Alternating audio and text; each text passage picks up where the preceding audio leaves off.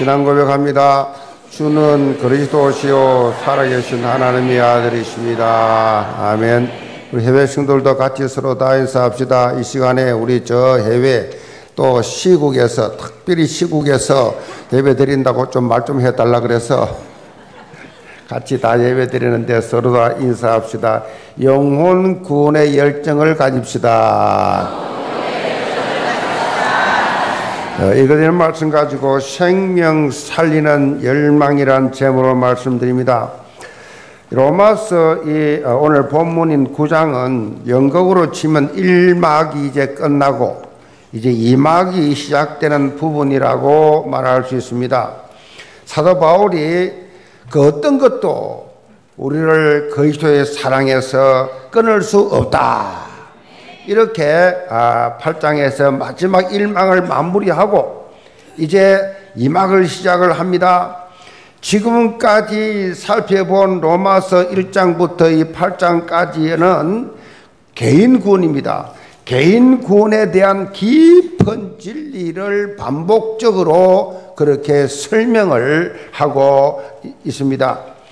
자, 유대인이나 이방인이나 모두가 죄인이기 때문에 어떤 행위로도 하나님 앞에서 어렵다 할 수 있는 존재가 아무도 없다.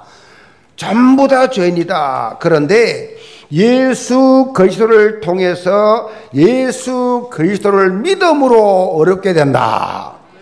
세상의 어떤 종교도 세상의 어떤 사람도 아무리 착하다는 말을 들어도 그 사람은 죄인이다. 그런데 유일하게 어떤 죄인도 예수 그리스도를 믿는 순간에 어려운 자가 된다. 이것이 구원의 본질이라고 가르쳐 주고 있습니다. 그리고 나서 이제 9장부터는 구원받은 자의 삶이 이제 어떻게 해야 되는지, 어떤 삶이 되어야 되는지에 대해서 강조하는 내용입니다. 오늘 제목이 생명 살리는 열망이라. 구원받은 하나님의 자녀가 가지고 있어야 할 영적 삶의 자세라. 영적 삶의 자세. 기준이 바로 생명 살리는 열망이 있어야 한다라는 것입니다. 열망 이 말은 문자적으로 열렬하게 바란다. 그런 의미지요. 중요한 것은 단순히 열렬하게 바라는 수준에 머무른 것이 아니라 행동으로 실천한다라는 의미가 여기에 들어 있습니다. 그래서 유명한 신학자 F.F. 브루스는 로마서 말씀에 대해서 이렇게 말했습니다. 기독교 역사 속에서 이 책은 계속적으로 사람의 마음을 해 방해서 그리스도의 본질적 복음을 이해시킴으로써 영적 혁명을 초래했다 그랬어요. 영적 혁명. 아멘. 혁명이 혁명 아세요? 혁명은 다 뒤집는 거예요. 다 바꾸는 거예요. 5.16 군사혁명 싹 다 바꾸는 겁니다. 혁명은 바꾸는 겁니다. 영적 혁명을 그렇게 초래했다. 무슨 말입니까? 로마서 말씀을 제대로 붙잡고 이해한 사람은 그냥 그 자리에 머물러 있을 수가 없다. 그 말이. 예틀을 깨고 그렇게 새틀 인생으로 살아간다는 얘기예요. 예틀이 뭐예요? 창세기 3장의 나중심이에요. 어디 가든지 나중심입니다. 내 자존심입니다. 그래서 뭐든지 자기가 드러나야 돼요. 자기 이름이 나타나야 돼. 자기를 알아줘야 돼. 안 그러면 시험당해. 나중심. 그 예털이에요. 그리고 육장의 물질 중심입니다. 세상 사람들은 참 머리 문해도 머니야. 그냥 돈, 돈, 돈, 돈. 돈 때문에 부모, 자식 간에, 형제 간에 그야말로 돈 때문에 그야말로 온갖 시험 다 들고 낙심하고 돈 때문에 돈이 그냥 생명이야 그냥. 그 돈 가지고 오직 돈이야 그냥. 돈에는 부모 자식도 없어. 심지어 죽이기까지 해 이 돈 물질 중심. 그렇게 살아온 것이 예틀이에요 복음 깨닫기 전이에요. 구원받기 전에 있었던 그 습관들. 그리고 언제나 11장이 뭐요? 세상에 수단 방법 가르지 말고 성공해야 돼. 성공해야 돼저 정치인들 보죠 저 성공하고자가 몸부림치는 저 불신자를 보세요. 성공해야 돼. 그런 삶을 우리가 살아왔었어요, 사실은. 그렇게 살아왔는데 이제 예틀을 깨고 어떤 세틀을 갖춰야 되느냐? 이제는 오직 사모직 대 사모직. 오직 그게 뭡니까? 오직 그리스도. 아멘. 우리의 삶이 어떤 문제와 사건도 다 인생의 답이 되는 그리스도 오직 그리스도. 예수가 뭐로 오셨냐? 그리스도로 오셨다. 그리스도가 무슨 뜻이냐? 인생 모든 문제 길자다. 예수 믿는 사람은 다 해결받은 것이다. 문제가 문제가 아니다. 다 나를 넘어선, 나 자신을 넘어설 수 있는 것이 복음의 능력이다. 오직 그리스도. 이거 된 사람들이 뭐요? 1장 3절 하나님의 나라를 누려요. 하나님의 나라. 이 세상에 살면서 하나님 나라. 창세기 3장 현장 속에 살면서도 하나님의 나라를 누린다고요. 내 주 예수 모신 것이 거지나 하나님의 나라. 문제 사건 다 언제나 있어. 상관없어. 나는 하나님의 나라. 아멘. 주님 모시고 사는 거예요. 그래 날 항상 기뻐하라. 범사에 감사하라. 지지 말고 기도해라. 이 하나님 나라 누린 사람의 삶이에요. 항상 기뻐하라. 저도 그렇게 저는 늘, 늘 마음에 늘 감사와 기쁨 속에 사는데 이상하게 설교할 때만 얼굴이 좀 뭐 인상 쓰더라고. 주여, 인상 쓰고 설교하지 않게 하여 주옵소서. 내 마음은 안 그래. 표정이 그래. 이게 예털에 오랫동안 찡그리고 살아가지고 예털에서 성령의 대레미로 대리를 찌어라. 아멘. 그러니까 여러분 삶 속에서요. 그러니까 언제나 하나님 나라 누리는데 방해되는 거 다 잘라. 아멘. 성령의 칼로 그냥 확 잘라. 하나님 나라 누리는데 방해되는 거. 이런 사람이 뭐요? 성령 충만해서 그야말로 2, 3천 나라 살리는 현장에 있는 것이에요. 이것이 우리 예틀, 이 세틀이에요, 세틀. 그러니까 예틀, 세틀 딱 구분이 되잖아요. 내가 지금 이 예틀을 또 뒤집어 쓴 거 아니냐? 내가 세틀을 달려고 있냐? 금방 영적으로 점검이 되잖아요. 이렇게 삼오직을 결론 내고 현장 변화의 주역으로 선다는 것입니다. 이것은 즉 명사형에서 명사형 아니라 아, 저 예수 믿는 사람, 저 교회단, 저 장로님이래, 저 집사님이래. 명사형 성도가 아니라 동사형 성도가 돼야 돼. 영적으로 현장을 파고드는 전도자의 삶을 살아야 된다. 여기에 하나님 뜻과 계획이 담겨 있다는 것입니다. 우리 영계 모든 성도들 오늘 말씀을 통해서 오직 여호와의 뜻만을 완전히 세우는 삶, 생명 살리는 전도자의 삶 속으로 들어가시기를 제문으로 축복합니다. 그럼 첫째로 큰 근심과 그치지 않는 고통. 1절입니다. 내가 그리스도 안에서 참말을 하고 거짓말을 아니하노라. 나에게 큰 근심이 있는 것과 마음에 그치지 않는 고통이 있는 것을 내 양심이 성령 안에서 나와 더불어 정언하노니. 어, 바울은 그 누구보다도 자신이 가지고 있는 이 복음을 자기 민족에게 증거하고 싶었던 사람입니다.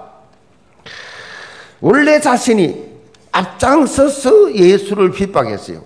예수 믿는 사람을 잡아 죽이고 가두고한데 앞섰던, 앞장섰던 사람이 이런, 이런 이 바울이 담에석 도상에서 대낮에 예수 믿는 사람이 있다는 소문 듣고 예수 믿는 사람 잡으러 가고 있는 담에색 길거리에서 부활하신 예수님이 나타났어요. 예수, 이 바울이 이름 부르면서 너는 왜 나를 핍박하느냐? 당신 누굽니까? 나는 너가 핍박하는 예수다.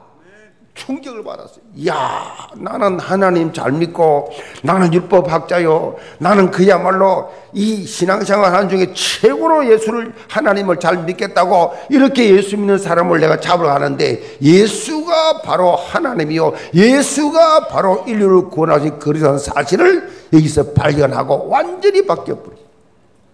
인생의 터닝 포인트가 담에색 도상에서 일어났다. 그 말이에요. 그때부터 어떤 일이 생겼느냐? 자기처럼 속아서 율법에 속아서 전통에 속아서 이 그야말로 지금 잘못 살고 있는 그 유대인들 같은 동력자들 지금까지 같이 살았던 모든 사람들에 대한 구원의 열망이 불같이 일어났어요. 구원의 열망. 저 사람들 구원받아야 되는데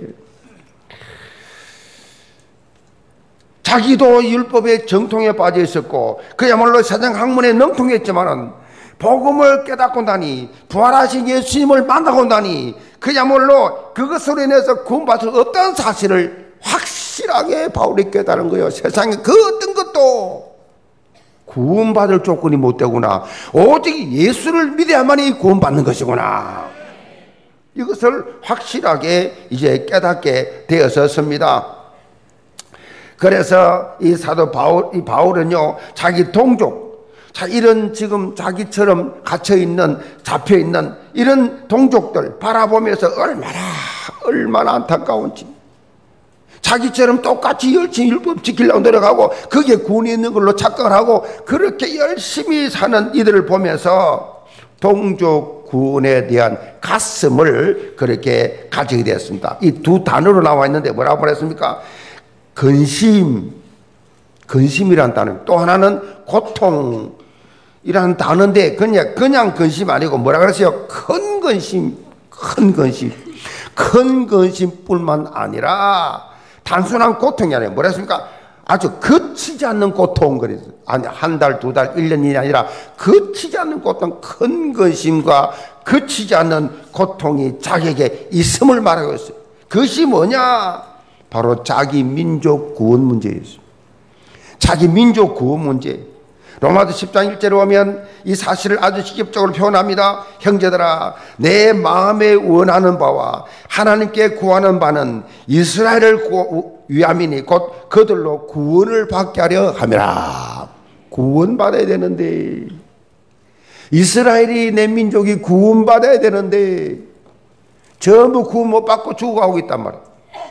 바울의 큰 근심과 고통은 무엇을 먹을까? 무엇을 입을까? 무엇을 마실까? 여기에 대한 세상 사람들이 말하는 여기에 서론에 걸리지 않았단 말이에요. 그 수준이 차원이 달랐단 말이에요. 바울의 큰 근심과 고통이 뭐냐? 바로 자기 동족을 구원하기 위한 이 열망, 그것이 바울이 성교하러 나가는 성교 현장에도 잘 드러나고 있어요. 바울의 성교 전략을 한마디로 요약하면요. 회당 전략이었어요. 바울은 어느 도시를 가든지 제일 먼저 들어간 1순위가 바로 회당이었어요. 왜냐? 회당에 들어가면 유대인들이 있어요. 바울이 그냥말로 유럽 전체를 그냥 돌아다니는데 이상하게 이스라엘 사람들 없는 데가 없어. 이스라엘에만 있는 게 아니라 디아스포라들이라. 오래전부터 포로 생활, 속국 생활, 노예 생활을 많이 했기 때문에 이 그야말로 없는 지역이 없어. 큰 지역에 다 이스라엘 사람들이 있단 말이에요. 이스라엘 사람들이 살면은 뭐가 있느냐? 꼭 회당이 있어요. 이들은 모여가지고 같이 토라, 뭐 이렇게 성경을 배우면서 구약을 배우면서 그렇게 기도하는 그 회당이 있기 때문에 그 회당으로 꼭 들어갔습니다. 그야말로 자기 동족, 자기 동족을 구원하기 위해서. 그 자기 동족들은 바울을 핍박합니다. 바울을 죽이려고 합니다. 바울을 죽이려고 결사대가 조직돼 가지고 바울을 막 따라다닙니다. 이렇게 핍박을 받으면서도 바울은 자기 동족을 미워하지 않았어. 왜 미워하지 않았습니까?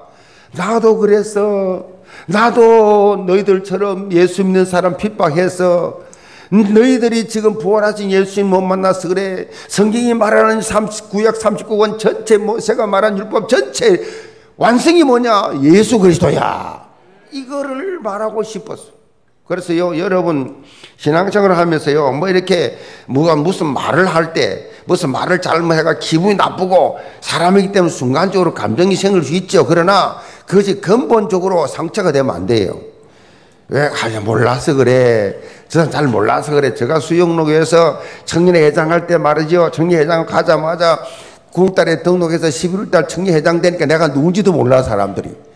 그러니까 아니 도대체 저 사람 누군데 청년 회장이야 그래갖고 몇십 명밖에 안 되는 청년회지만은 대고 막 기도 운동하고 막 전도 운동하고 막 헌신 운동하고 그야말로 교회를 막 기도 운동으로 막 전도 운동으로 막 그냥 말로 희저으니까 어떤 분이 그래 하더라고 아니 얼마 전에 어느 청년이 와서 막 기도하자고 막 이래가지고 사기치고 한데 당신도 사기꾼 아니요 그러더라고. 그 내가 사기꾼 아니요 나는. 거기 조금도 상처가 되고 그것이 조금도 그것이 그 사람 미워지지 않아요. 아, 이 사람이 지금 나를 잘 몰라서 그렇구나. 시간 되면 되게 부끄러워할 거야. 시간 지나봐. 시간 지나봐. 그러니까 내가 정, 장로가 되니까 그때 와서 미안하다 하더라고. 그러니까 전혀 모르는 거예요. 그, 그, 그 불쌍하지. 그 사람 미워하면 안 돼. 바울을 그냥 온갖 비박을 당하고 바울을 배신자라고 죽일 놈이라고 그렇게 핍박을 하는데도 바울은 그들을 하나도 미워하지 않았어. 뭔 사람을 미워합니까? 몰라서 그런 거를. 복음을 모르니까 우리를 핍박하고 마음껏 조롱하지. 저희 앞에 교회가 몰라서 그렇지. 아멘. 그거를 막 같이 미워하고 같이 욕하면 똑같은 사람이요. 그렇죠? 똑같잖아요. 막 같이 욕하고 같이 싸우고 같이 똑같은 사람이요. 형사소송법에도 똑같이 싸우면 똑같은 죄인이야, 둘 다. 치고받고 먼저 때렸다 뒤에 때렸다 중요한 게 아니에요. 같이 때렸으면 같이 가져가는 거예요. 그막 욕을 하고 비방하고 괜찮지 몰라서 그래 저 사람들이 저 사람들 우리처럼 복음 깨달으면 참 좋겠어. 그렇죠? 그래야 돼요. 그래야 이 바울처럼 보험관의 사람은 그래. 모든 사람을 수용해. 몰라서 그래, 몰라서. 에, 나를 욕, 괜찮아, 괜찮아. 어, 나도 사람이야. 뭐, 인간이 별 수 있어. 다, 다 그렇게 다 장단점 있는 거지. 뭘 그렇게 완벽하게 해. 그래, 맞아. 그래. 수용하고. 복음 가진 바울은요, 절대로 욕하지 않아요. 같이 미워하지 않았어요. 같이 싸우지 않았어요. 이런 유명한 말이 있어요. 이스라엘은 사도 바울을 버렸으나 바울은 이스라엘을 버리지 않았다. 사실요, 로마서 이 말씀, 이 로마서도 로마의, 로마 교회가 있거든요. 로마 교회에 있는 유대인들이요, 사실. 유대인들을 위해서 쓴 거예요. 이 로마서도. 그렇게 가슴 속에 자기 민족을 사랑하는 가슴이 언제나 있었어요. 사도 바울이 가지고 있던 동족 구원의 열망, 이것을 우리는 봐야 돼요. 3절 보세요. 나의 형제 곧 골육의 친척을 위하여 내 자신이 저주를 받아 그리스도에게서 끊어질지라도 원하는 바로라. 자기 동족의 구원을 얻을 수만 있다고 하면 자기 자신은 그리스도에게서 끊어질지라도 나 그걸 원한다. 여러분 여기서 지금 이 말이 보통 말 아닙니다. 내가 저주를 받아 끊어진다는데 저주란 말은 여기 헬라 말에 보면 아나데마요. 아나데마가 뭐냐? 지옥 형벌이에요. 지옥 형벌, 엄부의 심판 그런 뜻이에요. 나는 지옥 가더라도 내 동족이 다 구원받아 천국할 수 있다면 난 그렇게 하겠다. 물론 바울이 뭐 그리스도께서 끊어져 지게 해달라 한다 끊어지는 거 아니에요. 한 번 구원은 영원한 구원이에요. 끊어지지 않습니다. 그러나 이 바울이요 이렇게 간절한 이런 이런 열망이 있었단 말이에요. 열망, 간절함이 있었단 말이에요. 간절함이. 이미 로마서 8장 39절에 선포하는데 그 어느 것도 우리는 하나님의 사랑에서 그리스도인을 끊을 자가 절대 없습니다. 사도 바울이 그만큼 간절한 열망을 가지고 있었다. 영혼 구원에서 로마서 8장에 나타난 하나님의 사랑의 절대 확신이 로마 9장에서는요, 절대 사명으로 연결이 됩니다. 절대 확신이 절대 사명으로. 아, 마틴 루터는요, 이 부분에 서 이렇게 표현했습니다. 저주를 받은 자들이 구원 얻도록 하기 위하여 자신이 저주를 받겠다는 것은 이해할 수 없는 것처럼 보이는 말씀이다. 동족을 위한 바울의 이런 사랑은 그리스도의 대속적 사랑의 불길에서 나온 불꽃이다 그랬어요. 그리스도의 사랑에서 나온 이 불길을 내서 나온 불꽃이다. 이렇게 이 바울이 가슴에 불 붙고 불 붙.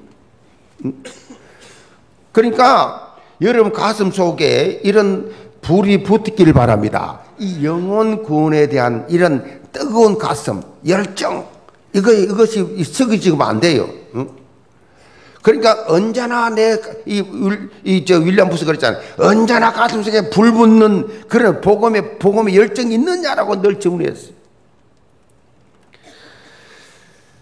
예수 그리스도의 가슴을 가진 자는요, 이 고백을 할 수 있어야 돼요. 난 내 가슴 속에 복음에 대한 불꽃이 지금 또 불붙고 있다. 우리말로는요, 세계 보고마함이라고 말을 많이 해요. 세계 보고마 2, 3, 7 나라 보고마 할 말을 하는데, 진작 자기 주변에 있는 사람들, 매일 만나는 사람들, 그런 사람들, 불신자에 대해서는 무감각해요. 감각이 없어요. 뭐 자주 보니까 뭐. 긴급성을 못 느끼니까. 그럴 수도 있습니다. 내 가족 안, 내 가족 안에 불신자 가족이 있어. 내 가족 안에, 만약에 그 사람들이 예수 안 믿고 죽으면 지옥 가요. 영원한 음부입니다. 영원한 지옥. 차라리 예수님 그랬잖아. 태어나지 않은 게 나을 뻔했다. 가족 중에, 친척 중에, 아, 직장인 동료 중에서, 응? 늘 만나는 사람들 중에서 아직도 구원을 못 받았다. 여러분, 우리가요, 영혼 구원이라 하는 영적 안경을 끼시 바랍니다. 영적 안경을 딱 끼고, 야 너무나 추수할 것이 많구나. 정말 구원받을 사람 내 주위에 많네. 영의 눈을 뜨고 보면 다 보여. 여러분, 이 마음속에 말이요. 저 불신자 딱 보면, 아, 저 사람 구원받아야 되는데, 저 사람 다, 다 좋은데, 저 구원 못 받아서 큰일 내죠. 저 내가 저 사람 구원해야지라고 하나님께 기도한 적 있습니까? 세상에 열심히 종교생활하고 있는 사람은 너무너무 나보다 훨씬 착한데, 복음을 몰라. 안타까워한 적 있냐고요. 바울이 지금 그, 우리에게 지금 요구하는 것이 그런 마음이에요. 그러니까 영적 안경 끼고 보면 주위에 안타까운 영혼들이 너무 많아요. 구원받아야 되잖아요. 길 가는 할머니, 아이고, 할머니, 저, 저, 뭐, 죽을 때 다 됐는데, 빨리 예수 믿고 구원받아야 되는데, 그래, 그러면서 내가 할머니께 전한, 복음을 전한 적이 있어요. 내 양심이, 아이고, 저 사람 저거 예수 믿, 안 믿는 저 구원 내가 정확하게 복음 알고 있는데, 내가 정확하게 복음 안 전하면 저 사람 복음 듣겠나? 저 할머니 누구인데 복음 전하겠나? 그래서 말이죠. 이번에 우리 효잔치 할 때 막 그냥 그, 저, 거의 4천 명 가까이 왔잖아요. 꽉 차고 다 못 자, 저, 저기 갈리올까지 갔잖아요. 그때 내가 막 영전 메시지 했잖아요. 우리 양심이잖아요. 우리가 지역에 살고 있는 강서구 지역에 살고 있는 어르신들 죽을 때 다 됐는데 예수 믿고가 미, 믿게 해가지고 구원받게 해야지. 믿고 안 믿고는 그건 하나님 알아서 정리하실 일 우리가 할 일은 복음을 전해야지. 그 내가 막 복음 전하다 보니 뒤에 마지막 노래 하려고 선 가수들이 다 들어가 버렸더만. 나 몰랐어요, 몰랐어. 그, 그, 그, 저, 유튜브 보니까 뭐 조회수가 11만이더라. 엄청 많이 봤어요. 내가 미국 가도, 아이고, 목사님 춤 잘 추대. 다 알아, 다 알아. 어쨌든 미국 가도 장로도 알고 집사도 미국, 요즘 시대가 그런 시대라, 그냥. 그니, 근데 보니까, 내가 다시 보니까 내 뒤에 가수들이 서 있다가 마지막 노래 불러 내가 길, 영접 몇시 길게 하니까 다 들어가고 없더라고. 그까지 노래 한번안 들으면 어때? 영접이 중요하지. 아멘. 그렇잖아요.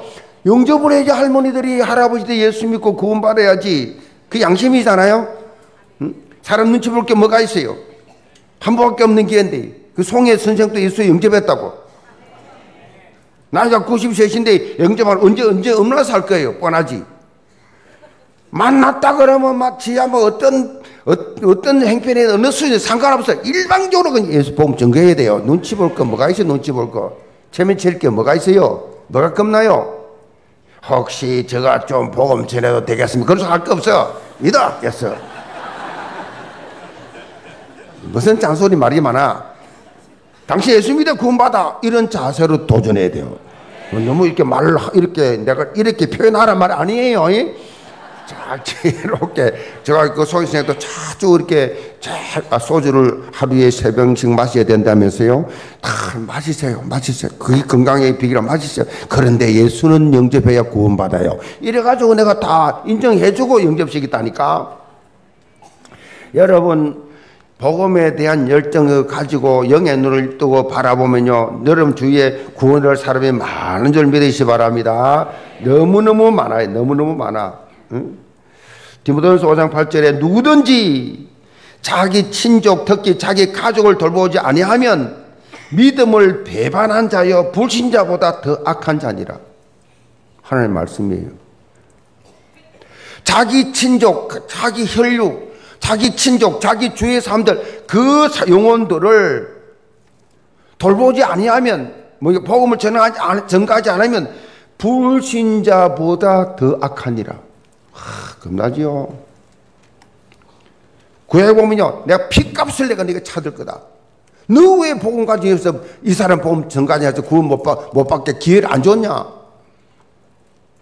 그 피값 내가 찾겠다. 왔다 무섭네요. 우리가 그런 수준입니까? 여러분, 주님이 지금 이 시간 여러분 개개인이 하신 말씀이 뭐예요? 참으로 내가 깨달은 복음과 이 하나님의 은혜가 그렇게 좋다고 하면 정말 너는 구원받아서 예배 드려 드리고 은혜 받기 원한다고 하면 너가 가진 이 복음을 너만 가지고 다른 사람에게 방치해서 되겠냐 그 말이에요. 한마디만 하면 구원받을 텐데 단 5분만 그렇게 헌신하면 그 사람 영혼 구원받, 게 될 텐데 어떻게 그렇게 방심하냐? 방치해 두었냐? 불신자 불신자보다 더 그렇게 악하다. 자, 이런 말이죠. 죽어가는 사람에 대해서 무감, 무감각한 사람은 자신이 그리스도인인가를 의심해 보는 것이 좋다 그랬어. 죽어가는 사람이 분명히 있는데 이 사람 분명히 영혼이 이 사람 죽었는데 지금 장태삼이 잡혀서 헤엄, 헤, 매고 있는데 이 사람이 상당히 우울증에 빠져 있는데 지금 뭔가 영적 문제가 와 있는데 그렇게 많이 막 고민을 이야기하고 고백하는데도 무감각한 사람은 자신이 그리스도인인가 의심해 봐라 그랬어. 굉장히 무슨 말이에요, 이거?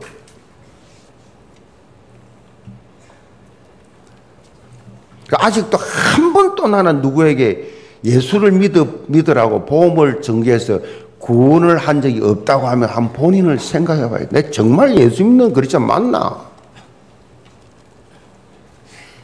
의심해 봐라 그랬어요. 옆에 지금 불신 영혼이 죽어가고 있는데 그 부신 영혼에 대해서 아무 감각이 없다. 내 유익만 위해서 계속 계산하고 내 육신적인 물질적인 것 이익을 위해서 계산하고 앉아 있다. 그런 복음을 증가하면 내가 물질적으로 손해를 볼 것 같아서 한 번도 만나도 복음 증가 안 했다.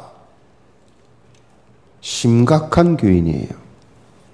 그 사람 절대 행복하지 않아요.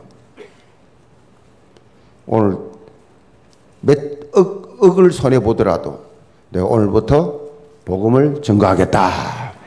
이런 마음을 한번 가져보시길 바랍니다. 우리 영계 모든 성도들 사도 바울이 가졌던 동족 구원, 동족에 대한 구원, 동족 구원. 이걸 향한 뭐요? 뜨거운 열망 있었죠. 열망이 뜨거웠습니다. 가슴에 품고 내 주변부터 복음을 증거하기를 시작하시를 죄물로 축복합니다. 두 번째로 하나님의 최고 기대입니다. 4절 5절입니다.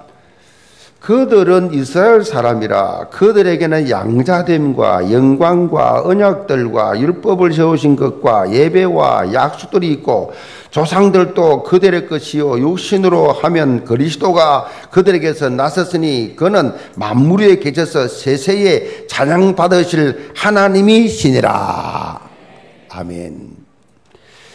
사실 이스라엘 백성들은요, 지구촌에서 최고의 특권을 가진 민족이에요.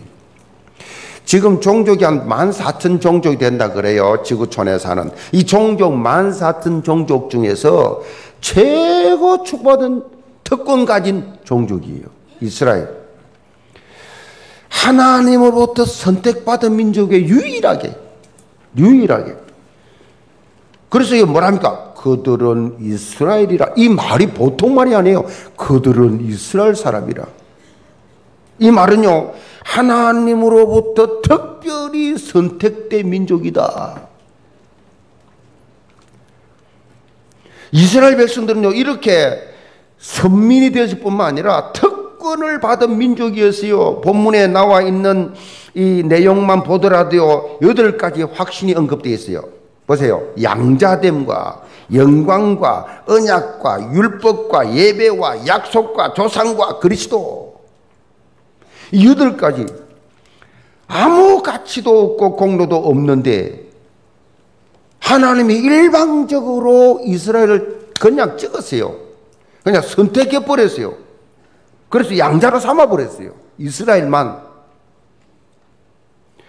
그리고 하나님이 친히 찾아오셔서 그들과 만나 주었어요. 그들에게 만나 주 아니 천지를 창조하신 전능하신 하나님이 이스라엘에만 왔어요. 이스라엘이 어디 왔냐? 성전에 왔어요. 지성소에 싹 하나님 임재했어요. 얼마나 영광입니까? 이스라엘만 예루살렘 쫙 성전에 쫙 임재했어요.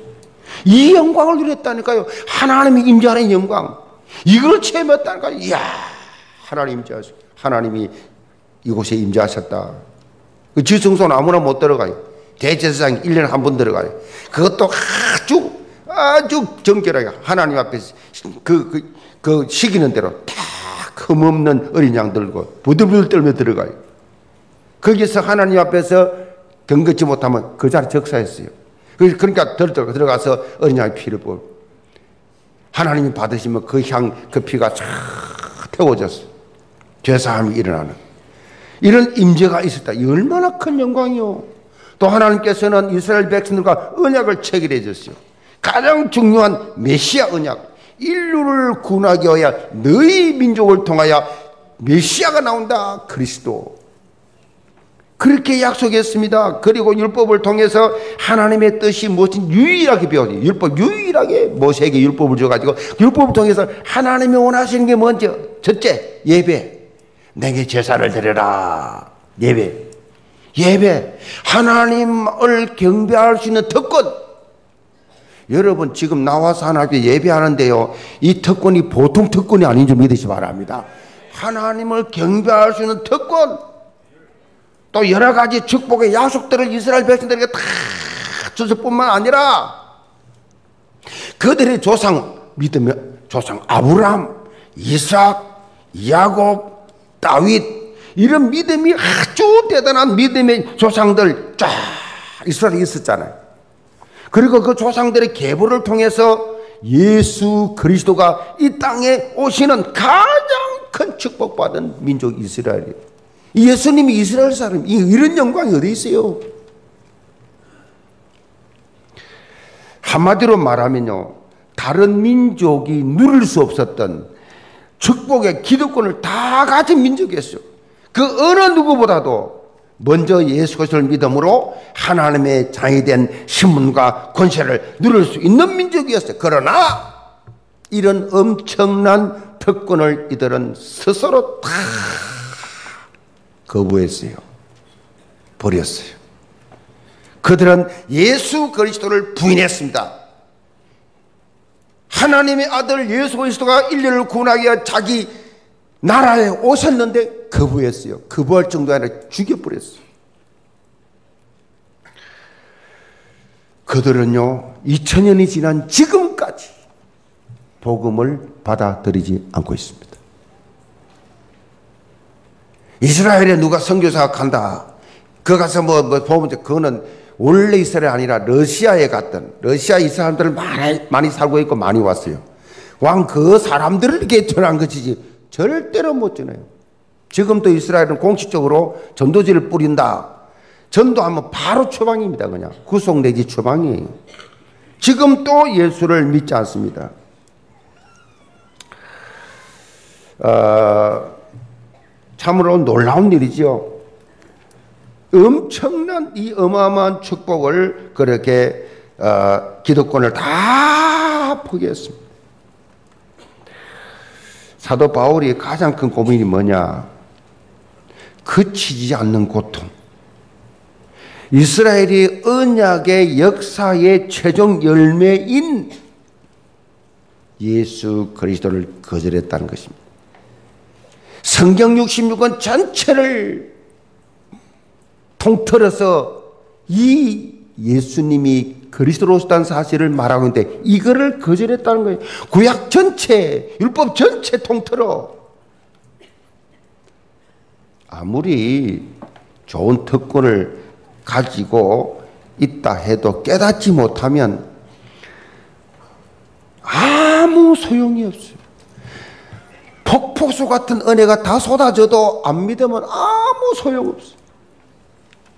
이런 모습들을 사도 바울이 보고 있으니 답답하고 안타까움이 말로 다 못돼. 그래 큰 근심, 그치지 않는 고통.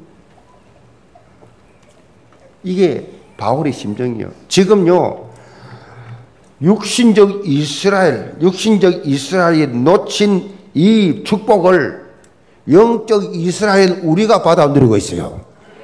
우리는 영적 이스라엘이에요. 저 사람들은 육적 이스라엘이에요. 하나님께서 우리에게 이 축복을 그러면 다른 불신자보다 먼저 맛보게 하신 이유가 뭐냐는 것입니다. 아니 다른 불신자 우리가 무슨 똑똑해서 잘나서가 연구를 많이 해서가 아니라 어떻게 내가 먼저 구원받았냐 내 직장에서 내 동료 중에서 어떻게 내가 먼저 이 복음을 알고 구원받게 됐냐 하나님이 왜 나를 먼저 구원해 주셨을까 예수도 안 믿는 우리 가문에 내가 어떻게 먼저 뭐 예수를 믿어가 이렇게 내 구원받았지 하나님이 원할 목적이 뭐냐 이 복음을 가문에 증가하는 것입니다. 만나는 사람 앞에 이 사실을 말하라는 것입니다. 내가 맛보고 있는 이 복음을 나를 통해서 예수 그리스도의 유일성을 그렇게 증거하시기를 지금 하나님은 원하신다는 것입니다. 자, 이것이 하나님께서 우리에게 가지고 계신 최대의 기대치입니다. 복음 가진 여러분, 오늘 잘 좀 깨달으시 바랍니다. 구세군 창시자 율리안 부스가 원래 이분이 감리교 목사였어요. 이 영국의 감리교가 굉장히 활발히 그렇게 어, 전거되어서 교회가 많이 섰는데 근데 그 당시에 이 감리교를 포함해서 기독교가 전혀 사회에 영적 영향력을 끼치지 못하고 있는 영국 교인들 잠자고 있는 영국 교인들, 아무런 감각이 없는 영, 이 영국 교인들을 그야말로 바라보면서 개혁해야 되겠다. 윌리엄 부스가 그런 마음 가진 거예요. 안 되겠다. 이 영적 교육을 해야 되겠다. 이런 가슴을 가진 분들이 같이 모였어요. 뭐라고 말했냐? 전도는 단순한 전도가 아니라 전투다 그랬어요. 이걸 슬로건을 그런 겁니다. 전투다. 전투는 누가 하느냐? 군인이 한다. 그러면 우리는 전부 다 영적 군사가 된다. 그래서 군대식으로 전도하자.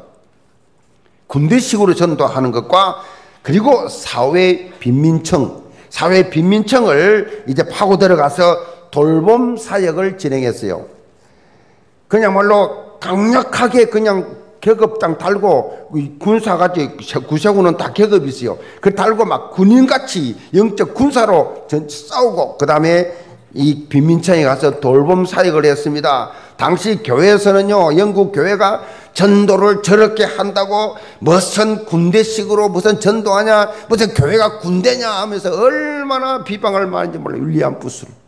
그런데도 불구하고 윌리엄 부스 그 일행들은 복음을 전가하면서 이 실제 열매를 막 열매 맺기 시작한 거요. 그러면서 뭐 전국으로 확산이 확 되어갔습니다. 지금 또요, 이 구세군은 사회적 이 돌봄 이 사역을 어, 전 세계적으로 하고 있어요. 여러분, 우리나라에도 어, 뭐이 전, 자선남비라고 이 성탄이 되면 나와가 하잖아요. 그거 다 가난한 사람 도우잖아요. 자선 지금도 하고 있어요. 근데 그 당시에 윌리엄 부스가 이끄는 이 구세군이 얼마나 영향을 입었던지 영국의 왕이었던 에드워드 7세가 윌리엄 부스를 초청했어요. 왕궁으로 좀 오시라고. 어, 당신 통해서 지금 전 전국에 지금 그야말로 엄청나게 이, 에, 이 운동이 일어나고 있는데 한번 오시라. 그래가지고 모셔가 만찬을 했어요. 만찬 후에 기념 앨범에 부스의 친필 사인을 요청했습니다. 이때 윌리엄 부스가 이 이렇게 적었어요. 뭐라고 적었냐? 어떤 사람의 야망은 예술이고 어떤 사람의 야망은 명성이고 어떤 사람의 야망은 황금입니다. 그러나 나의 야망은 사람들의 영혼입니다. 그래서 성도 여러분, 여러분의 야망은 무엇입니까? 황금입니까?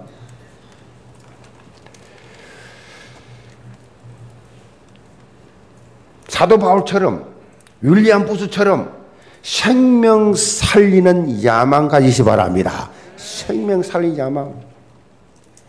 예수 그리스도를 통해서 받은 이 완전히 해방된 인생 맞습니까?